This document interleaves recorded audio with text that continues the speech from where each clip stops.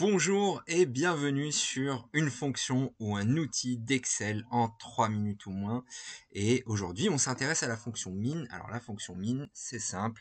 Elle va euh, s'intéresser à tous les nombres qu'on lui donne et nous dire quel est le nombre le plus petit. Et du coup, s'il s'agit de date, ça va être la date la plus ancienne. Et s'il s'agit d'un nombre, ce sera le nombre le plus petit. Et la structure, elle est simple.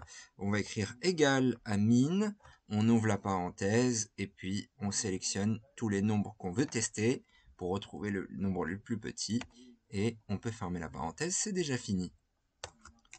C'est 20 l'âge minimal dans notre liste de personnes et si je regarde de plus près, il s'agit de Léa Bouvier.